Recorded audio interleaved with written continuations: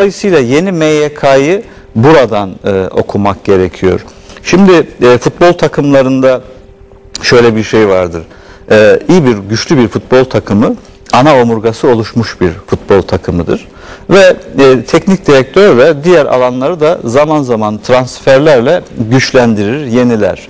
Şimdi e, Sayın Genel Başkanımız, Sayın Başbakanımız e, iyi bir e, siyasetçi, iyi bir oyun kurucu, iyi bir teknik direktör ve e, dolayısıyla yeni takımını e, oluştururken de e, partinin e, omurgasını e, koruyarak bir e, yenilik oluşturdu. Bir husus daha var.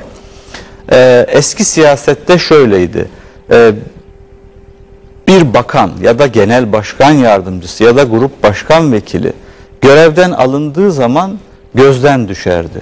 AK Parti siyasetinde bu böyle değil. AK Parti siyaseti millete efendilik yoktur, millete hizmetkar olmak vardır diyen, insanı yaşat ki devlet yaşasın diyen, e, yaratılanı yaratandan ötürü, se- e, e, ötürü severiz diyen, dolayısıyla da merkezine hizmeti koymuş ve hizmetin de nerede olduğunu önemsemeyen bir siyasi hareket. Yani bakanlık yapmak da hizmettir, genel başkan yardımcılığı yapmak da hizmettir, belediye başkanlığı yapmak da hizmettir. Hmm, Hangi noktada olursa olsun o noktada bu ülkeye, bu millete hizmet etmektir asıl olan. Dolayısıyla işte efendim e, eski gitti yeni geldi değil. Bunların hepsini biz bir görev değişikliği olarak görüyoruz. E, daha önce bu görevleri yapan arkadaşlarımız da bu defa başka görevleri üstlenerek e, yollarına e, devam ediyorlar. O yüzden bu anlayış zaten AK Parti'yi ayakta tutan, AK Parti'nin dinamizmini ve motivasyonunu, moralini oluşturan e, asıl e, bu anlayış.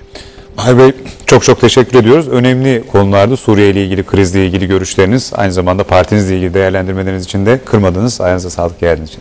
Ben AK teşekkür Parti ederim. Grup Başkan Vekili Mahir Ünal da Türkiye'nin bu hafta ve tahminim o ki önümüzdeki haftalarda da belki en çok konuşacağı konuları değerlendirdik. Bültenimizi burada noktalıyoruz. Gelişmelerle tekrar karşınızda olacağız.